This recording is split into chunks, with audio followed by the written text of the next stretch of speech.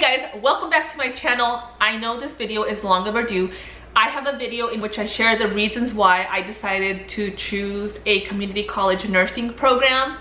Now, with that being said, that video I will link up here and if I am, for whatever reason, unable to link it up here, I'm gonna put it down in the description box so you can just click on the link and watch that video if you're interested. And also I have more links in which I share more videos that you guys can also watch that are related to this topic. So anyways, I really wanted to make this video because I get all these questions a lot. So I figured I could just make one video for you guys where you guys could all come and get your answers. And if I do not answer your question, please comment down below. I will respond. I try to respond to everybody. Let's get right into the video. I have them written here on my phone. Oh, yes, I do want to say that just because I chose community college nursing program, that is not the only route that you can take. You can also just go directly into a bachelor's nursing program and do it that way, or you can go into like the master's entry level program. You could do that as well. There's many different options and I've made a video about that and I'll also link down below and up here. But you guys, just because I did it, that doesn't mean that this is the only way to do nursing. I just want you to know that there's many other routes. You don't just have to do community college. It is a cheaper route. I also want to mention that I will be mentioning in this video what prereqs I took to get into the nursing program, but please, please, please do your research and first find out what different nursing programs are available to you, near you, in your state find out which programs are available, talk to a counselor, and find out which prerequisite classes that specific nursing program needs, okay? Because I don't know, I'm just telling you my experience and I'm just telling you what classes I took. That doesn't mean that every community college in the world has those same exact prerequisites. So please do your own research. And anyways, let's get into the video. So I do get asked at what age did I start doing the prereqs and that was at the age of 17. I finished high school at 17 when I was 17 and I finished it in May and then I started summer school in June. So I pretty much went through school like non-stop for many years and that's why I graduated as a registered nurse at the age of 21.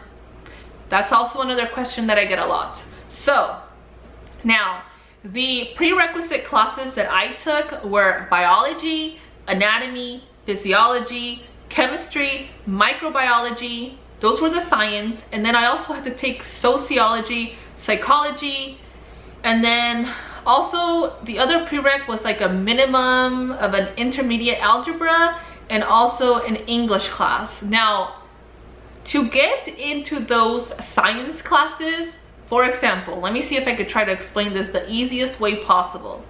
You have to do them in order. So you have to do biology first in order to qualify to get into the anatomy class and so forth. So you can't just jump around and choose what class you want to take first.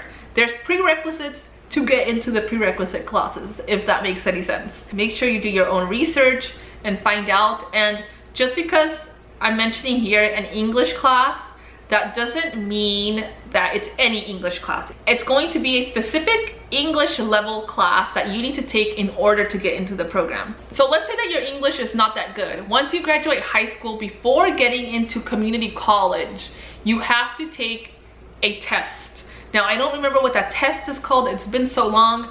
But the, depending on those tests, that will tell you which English class you will be in, which math class you will be in. And then you pretty much have to work your way up until you get to the class that you need to do to get into the prerequisites. Okay, so let's say that you're graduating from high school and you take that test to get into the community college and you qualify to get into a beginner's algebra.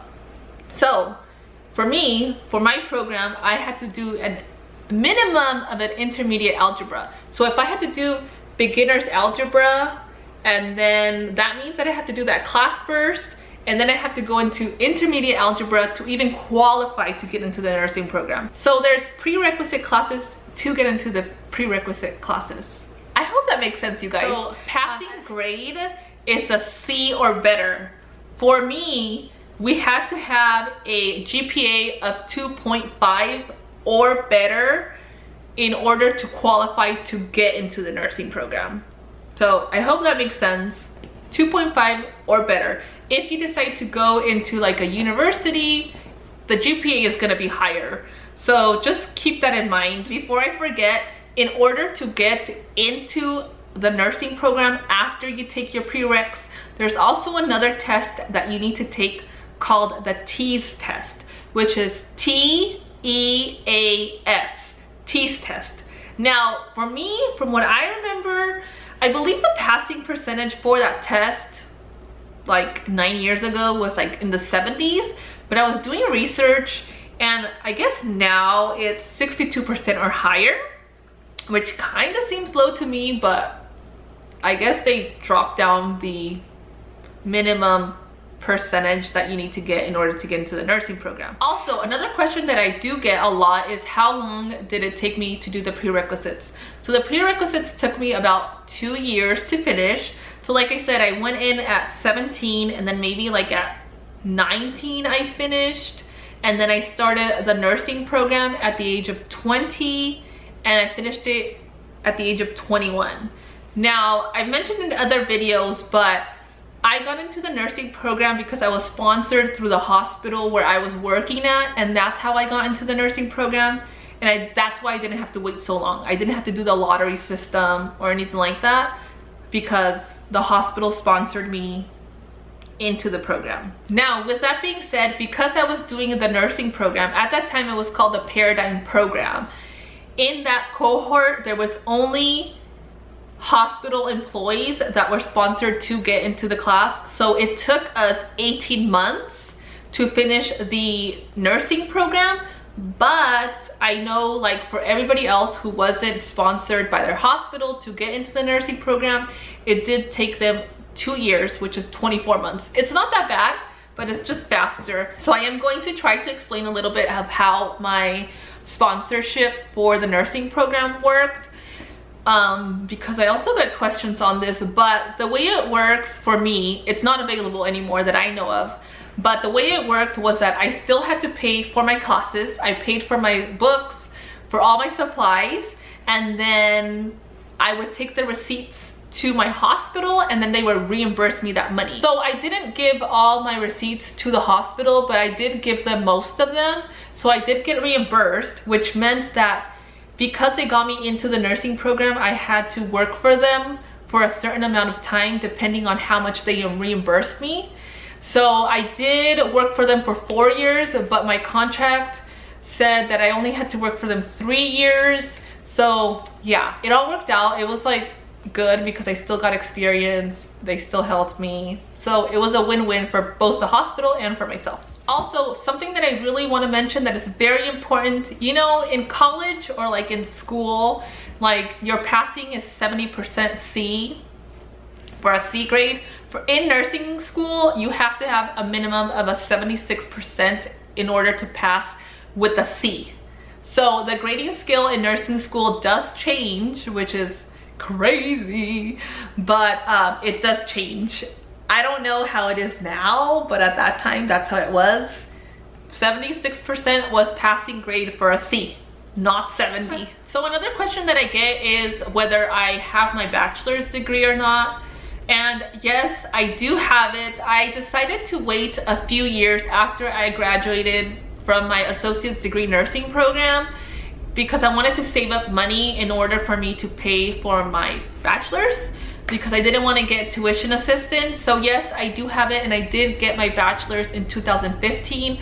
I graduated with my associates back in 2011. So it's been a while. Before I forget, I need, need, need to mention this.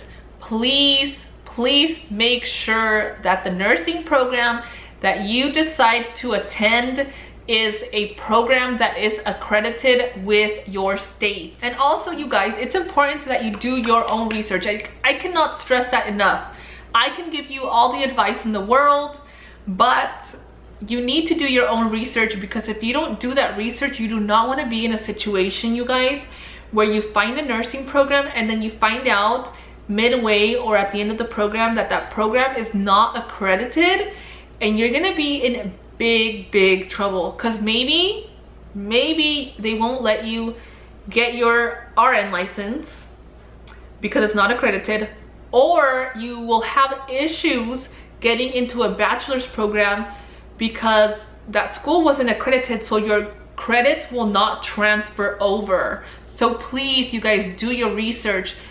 The other thing it may affect is depending on the workplace if you have a nursing license from a program that is not accredited and you don't have a bachelor's and you want to work at a certain workplace that workplace may not want to hire you because you went to a nursing program that is not accredited. So for example, at the last workplace where I applied, they were not accepting nurses who graduated from the nursing program that I went to because that school is not accredited.